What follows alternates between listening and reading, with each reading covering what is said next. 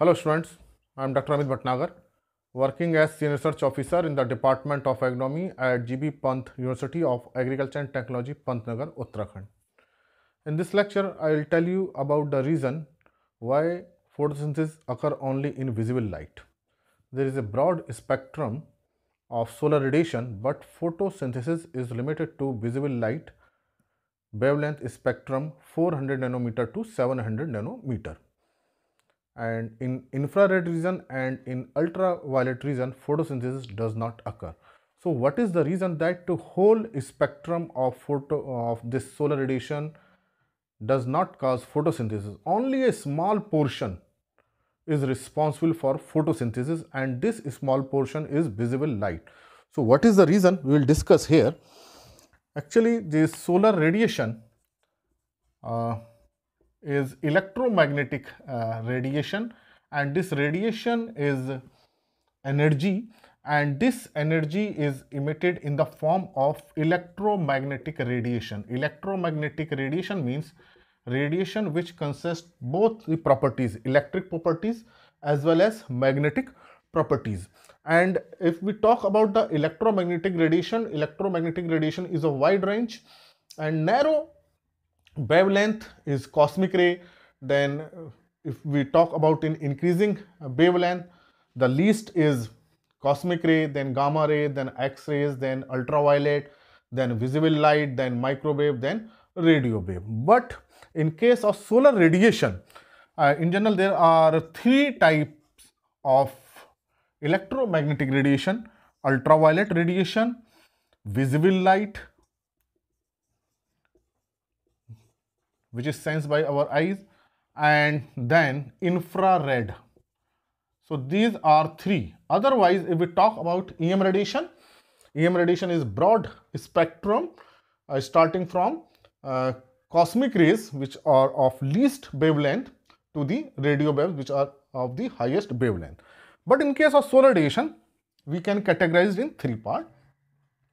And long wave radiation, uh, in case of solar uh, Mm, sunlight or we can say solar energy is the uh, negligible. So this UV uh, proportion is about 4% uh, in general, maybe 6%, but in general it is 4%. And visible light which is reaching on the earth, actually it is on the earth. So it, it, which is reaching on the earth, then because uh, during the uh, this pathway some is absorbed some radiation is absorbed some is reflected some is scattered and only about 45 to 48 percent reach on the earth. Depending upon the cloudiness depending upon the dust particle which are responsible for uh, scattering and clouds which are responsible for mm, the reflection then atmosphere which is responsible for absorption. So in this process from sun to the earth absorption scattering reflection is there and only 40 to 48 percent reach on the earth. And out of this total radiation out of this total 4 percent if we talk about it is suppose 100 percent then 4 percent is about ultraviolet. And visible light is about uh, 45 to uh, 44 percent or 42 percent or 46 percent. And infrared is about 52 to 56 percent. So, uh, it may be about 40 to 46 percent range. So, it is the range or it is about 4 to 6 percent and maybe up to 8 percent depending upon the uh, uh, atmospheric condition whether it is clear or dust or pollutant etc. So, this is the in general range.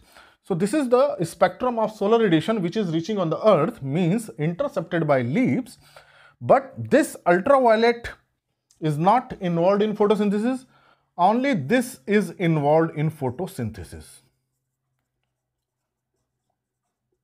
So what is the reason that only this part is involved in photosynthesis? The reason is that if we look into the wavelength, uh, wavelength of this radiation so wavelength of this radiation is about uh, 3 to 400 nanometer in case of ultraviolet and visible light is 400 to 700 nanometer and infrared is more than 700 nanometer and maybe about 4000 nanometer. So we can uh, write at as more than 700 nanometer. So this is the general range and this wavelength if we now we talk the uh, about the energy actually energy uh, of this radiation is considered in the form of quantum or photon it is uh, considered that this light is consist of very small energy packets which are known as photon so photon are responsible for energy and this photon or quantum are responsible for photosynthesis because the main role of this photon is to excite the electron from the chlorophyll. So excitation uh, is the main process in which photon are involved. So photon are considered very small packets of energy and the energy of this photon is decided by E is equal to h mu where E is the energy of photon, h is Planck constant and mu is the frequency and frequency is inversely related to wavelength.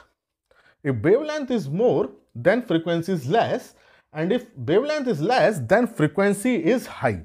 So if we talk about the frequency, then frequency wise, frequency of this, it, it is the uh, lowest wavelength, so it means frequency is highest. So frequency and wavelength are inversely related. So frequency is of uh, UV light, then visible light, I am writing it as a VL, then infrared, I am writing it as a IR. So it means energy will be in the same UV light, ultraviolet light would have most energy followed by visible light VL and the least energy in infrared. And this energy is responsible for photosynthesis means excitation of electron means excitation of chlorophyll molecule. So it means if energy is more, there will be more excitation and would be more photosynthesis, but it is not like that because energy is highest, maximum energy and energy is so much that UV light have so energy that it destroys the cell, it destroys the tissue. So it is harmful because of its high energy content. So UV radiation is harmful because of its high energy content. And this energy is not utilized in photosynthesis Rather, it is uh, involved in destroying the cell structure. So, UV radiation is harmful. It is not beneficial. While on the other hand, infrared has minimum energy. Minimum energy in all these three. So, energy level is so low that it is not sufficient to excite the chlorophyll. So, energy level is low. So, that's why it is not involved in photosynthesis. So, energy level of visible light is sufficient and involved in excitation of chlorophyll molecule and to start the photosynthesis. That's why visible light is only involved in photosynthesis. So it means whole solar radiation is not involved in photosynthesis. Only a small portion that is visible light. So now it would be clear why uh, there is so that whole spectrum is not uh, involved in photosynthesis because some portion that is UV radiation contains so much energy that it destroys whole cell structure because of high energy content. So it is not involved in photosynthesis.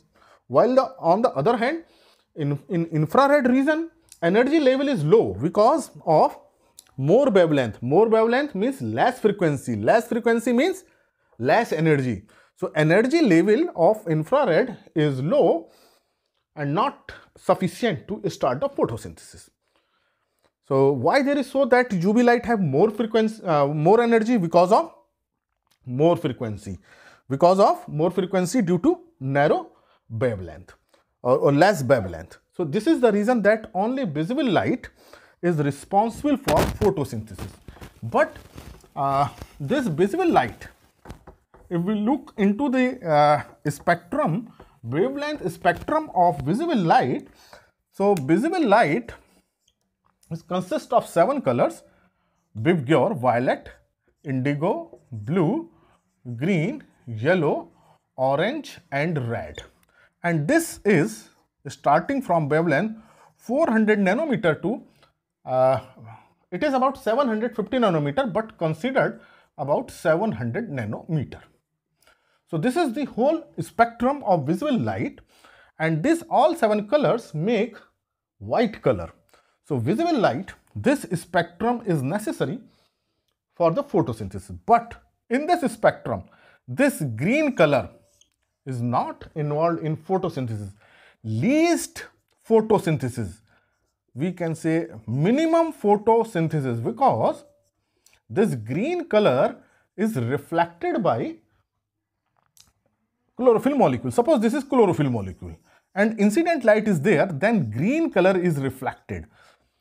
It look green color because green light is reflected. Any substance look in that color which is reflected.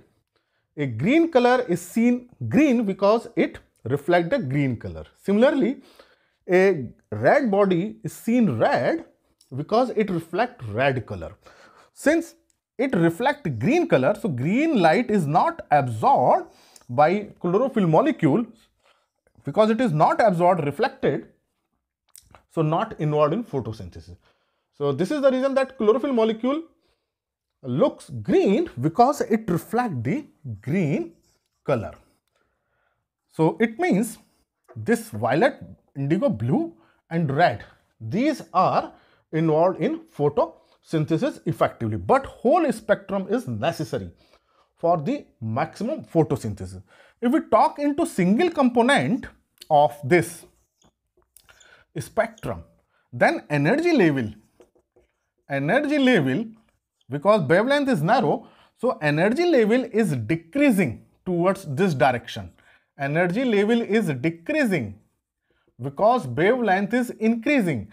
Wavelength is increasing, it means frequency is reducing so energy decreasing. Means violet has more energy as compared to indigo. Indigo has more energy compared to blue. Blue has more energy than green.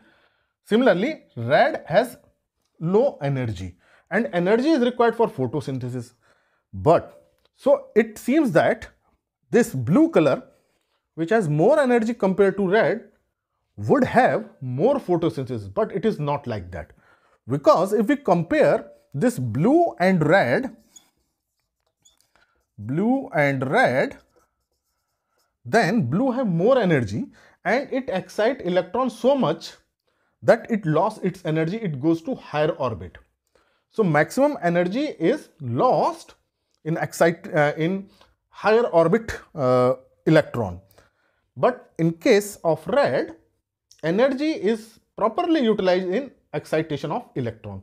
So this is the reason that here loss of energy because electron goes into very higher orbit and but in it remain in normal orbit.